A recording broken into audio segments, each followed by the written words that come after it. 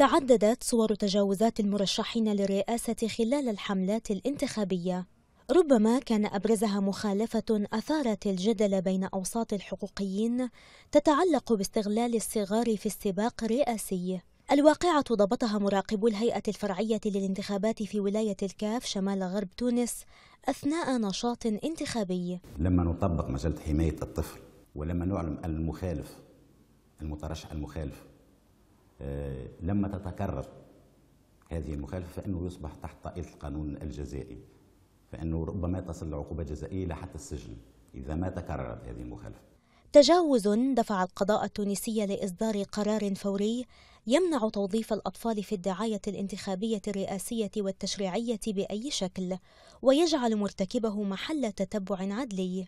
قرار وجد ترحيبا من الجهات المسؤولة عن حماية حقوق الطفل. حتى تستصدر على الأقل ما يمكن أن آه، لا يشارك الأطفال في هذه الحملات بما يمكن أن يمس من سلامتهم. وكذلك من حق المشاركة إحنا ماناش ضد حق المشاركة اللي نصت عليه مجال حماية الطفل. لكن الإجراءات الأخيرة لم تبدد قلق الشارع التونسي على أبنائه.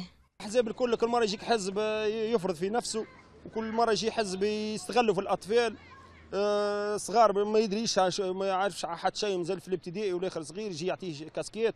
كيما ولدي ولا حاجة يجي يعطيه كاسكيت يتبع الحزب فلاني يستغلوا أطفال معناها يحبوا أكل التعبئة.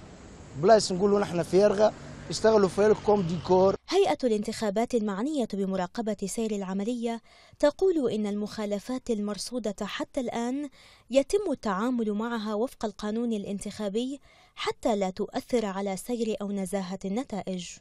بعد صدور قرار قضائي يمنع استغلال الأطفال في الحملات الانتخابية يأمل الحقوقيون الالتزام بعدم تكرار هذه التجاوزات والنأي بالصغار عن التجاذبات السياسية للحفاظ على سلامتهم البدنية والمعنوية وحمايتهم من أي محاولات لتوريطهم في دهاليز السياسة. رفيدة ياسين العربية من ولاية الكاف تونس.